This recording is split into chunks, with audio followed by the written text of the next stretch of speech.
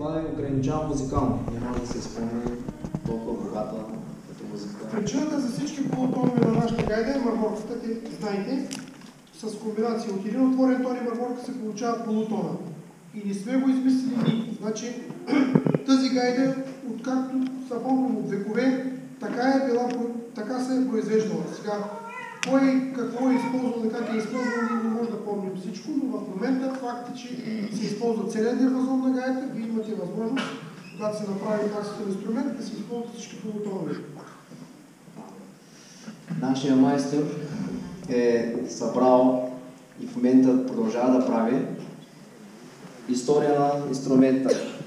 Тук отпреди са изкарани всякакви шедьоври с различни гайдоници през времената.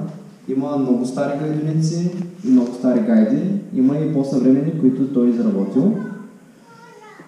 Сега той ще ни покаже някоя стара гайда преди колко време, как е звучала, какви са били нейните, нейната специфика, какъв е. Те някои може да не звучат.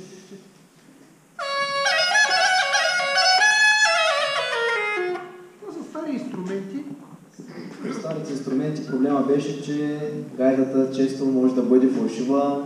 Да, това беше проблема и основният проблем, който сега малко се отстрани в тези пискуни. Пискуна в момента изключително изработвам пискуни от карбон, в които не се влияят от влагата и работят доста по-добре.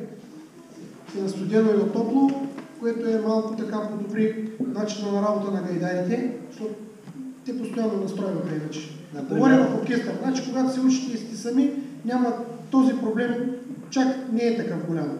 Но когато един гайдар свири в оркестър, там свири с ионика и с, с много инструменти класически, които трябва да бъде точен и да ни настройва. А тази влага от въздуха, който дишаме, изключително врежеше тези пискуни.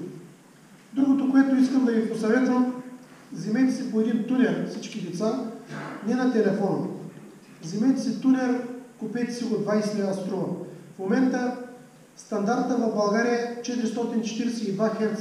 Той за гайдарчета да казвам да го знаете, защото акордеоните, от където се произвеждат от, а, основно от Италия, от Германия, така излизат в момента заводско на 442 Hz. Иониката пристига от завода настроена на 440 Hz. Всеки музикант трябва да се пипне инструмента, гайите ги произвеждат от 442 Hz и така и класическите инструменти така се настроят. Между другото в Германия в момента са дигвали в филхармонията още 2 Hz, но нас това не ме засяга. Но аз имам информация, защото това правя, аз настройвам инструменти. Казвам ви вземете си по едно тонерче всички, 20 лева струва, трябва да има и полутонови, задължително кажете. И той има програма, влизате само, чуквате стрелката, 442 Hz трябва да показва и да, за може да се научите да се настроят инструментите. На практика, благодарение на неговото дело, преди, да с, преди неговите инструменти, заставам аз с оркестър и ще почвам да свиря. Обаче, процеса на свирене, аз вече съм фалшив и колегата на акордеона почва да ме гледа така неприятно. И аз трябва да, да спра да свиря, да изкарам гайдата и да я настроя по време на свирене. Също, преди да започна да свиря, аз имам дълга подготовка, заставам, почвам да настроявам гайдата и така нататък. А сега отивам където иде, само варя гайдата и съм вече готов. Даже по-скоро акордеоните, по-старите акордеони са с стари гласове, те по-може да са фалшиви, отколкото аз. да практика Значи не знаете, като почнете да ги пораствате и свирите, не знаете, че има изключително много акордеони фалшиви. По закон, всяка година акордеона ходи на профилактика. Защо? Защото той е с, както пискуна, с пластинка е. Когато се натрупа проколяка от работа, той не допада. Така че е възможно някой акордеон да ви каже, че сте фалшиви. А всъщност да е той фалшив. Значи проверявате с тунера и така, това е чисто доказателство. Така, майсторът, където донесъл една страхотна гайда, тази година е спечелила, или може би не тази, миналата година, той 4 години подред с неговите инструменти печели първа награда на изложението на гайди. И сега ще покажем миналогодишния шампион. Тази годишния може би вече е в някой щастливец. Той ще демонстрира, ще обясни какво, как точно е изработил, какво е специално. Аз няма да демонстрирам, това е гайда изработена с изкуствен мях съм направил, защото това е скъп инструмент. Тя е цялата върху, върху, с дърворезба. Тази гайда, комплект е с три гайдоници и ручило всичко е с дърворезба, изработена от чимшир, изключително скъп материал. Калъфа е с надпис, с бродерия. Много време. Това е около 6 месечен труд. Това е много, много с куфара е, куфара е към гайдата. Специално изработена е. Другото, което забравих да ви кажа, че има, аз направих ручило. Знаете, вашето ручило звучи в, в а, а, тона ре, звучи от ручилото. Аз направих същото ручило да в 4 тоновности. Завъртаха се тези клапички тук, където е втулката. Където е втулката. Направих едни клапи. Завърташ от сол гайда, може да се ползва с ла гайда. После можеш и а, тук се завърташ и другата част, ползва се и с регайда, така че това е също мое измещение. Училото. Има такива в България много, просто аз нямам в момента да ви покажа. Гайдата, гайдоницата може да се изработва от различни материали. Значи основният материал, който нашите га- гайдарчета имат гайдоница, това е дрянт. Виждате, всички сме с еднакви гайдоници. Другите варианти, които от различните материали, тук виждам в момента една.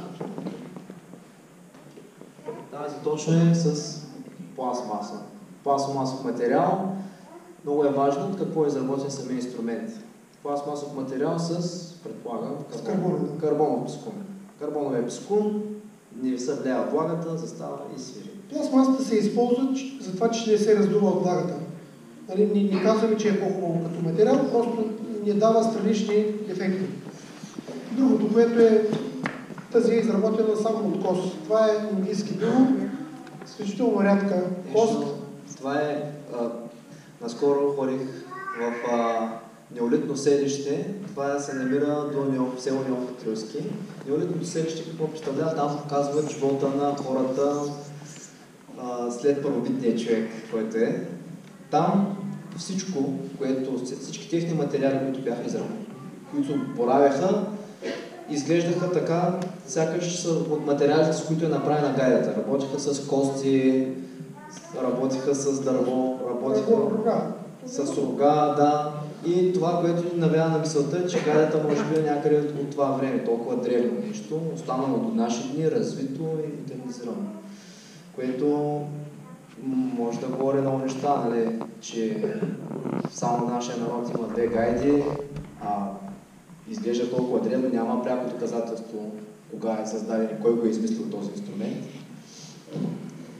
Другия интересен факт е, че ручилото, то се чува на различни тонове, на ре, на ми. Това са специфични частоти, на които влияят на... Това е за духовно настроените хора. Някой може да се стори смешно, някой може да се стори сериозно. Влияе на чакрите на човекът. Значи тонът ре, например, той влияе на втора чакра, която. Тонът това влияе на сърцето, тонът Тонът си е тонът там, ако сте чували тибетските монаси и така нататък. Значи това може би е нещо, има нещо старо, много древно в този. Археологията няма ли нещо да е излязло? Ами най-старите доказателства по нашите земи са а, има, има археологични картини на един инструмент, който има точно гръцко име, който много наподобява на гайда. Но не е наречен гайда, не е, и не е точно изобразен като гайда. Но има, има нещо старо. Аспарух не е дошъл с гайда. Не, не, има ли са нещо? 100% да е. Няма, няма преки доказателства, но най-вероятно това е. Това се... Има ли са телефони да ги снимат? Да. Е, е, Много са